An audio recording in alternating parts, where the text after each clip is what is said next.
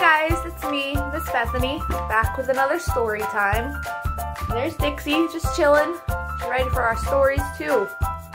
So I have two stories. I have Toad on the Road, and I have Cake. So let's start off with Cake.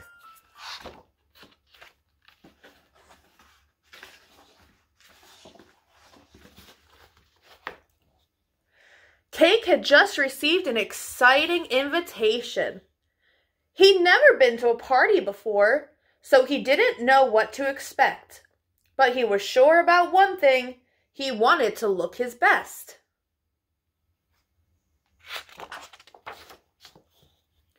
Fish didn't know what Cake should wear.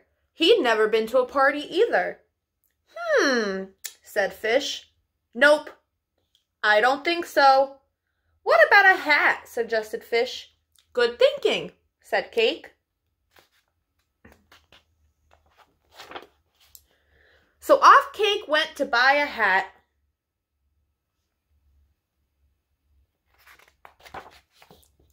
Cake tried on lots of hats in the shop, but none of them were quite right. Is it for a special occasion? asked the shop assistant. A wedding, perhaps? No, said Cake, a party. Oh, said the shop assistant. In that case, I have just the thing. And he disappeared out of the back.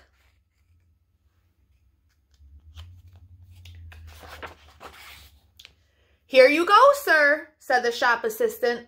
You'll be irresistible in this. Thank you very much, said Cake. He couldn't wait to get home and show Fish his new hat. Are you ready? Cake called from his bedroom. Ta-da! You've done it, shouted Fish.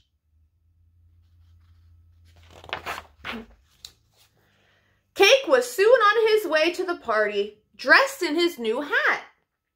Deedly dee, deedly dum, I'm off to a party to have some fun.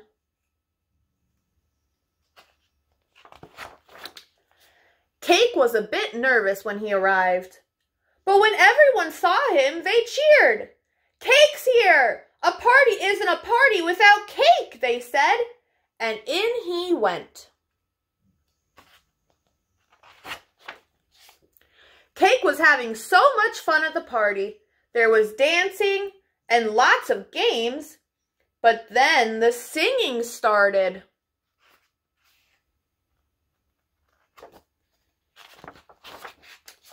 Happy birthday to you. Happy birthday to you. Cake was getting a bad feeling about this. Oh, crumbs! Suddenly there was a gust of wind and everything went black. Then there was a smell of raspberries and Cake felt a wibbly wobbly hand grab hold of his and a wibbly wobbly voice said, Quick! Run for it, Cake!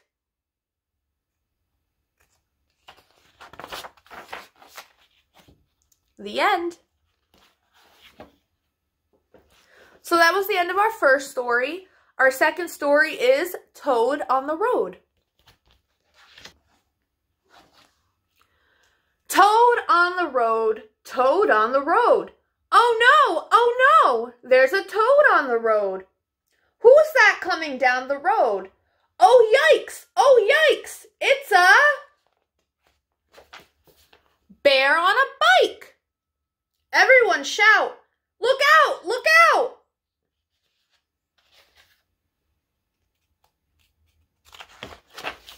Skid, screech, bam. Little toad, get out of the way. You could get hurt. That's no place to stay. Vamoose, skedaddle, without delay. What do you think your mama would say? Toad on the road, toad on the road. Oh no, oh no, there's a toad on the road. Who's that coming down the road? My stars, my stars! It's a croc in a car. Everyone shout, look out, look out. Skid, screech, bam. Hey, little toad, get out of the way. You could get hurt. That's no place to play. Vamoose, skedaddle, without delay. What do you think your mama would say? Toad on the road, toad on the road. Oh no, oh no, there's a toad on the road. Who is that coming down the road? Oh man, oh man, it's a...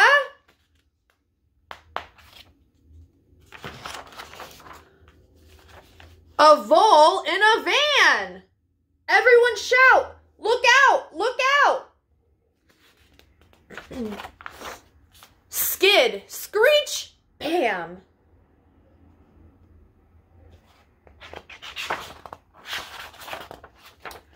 Hey, little toad, get out of the way. You could get hurt. That's no place to play.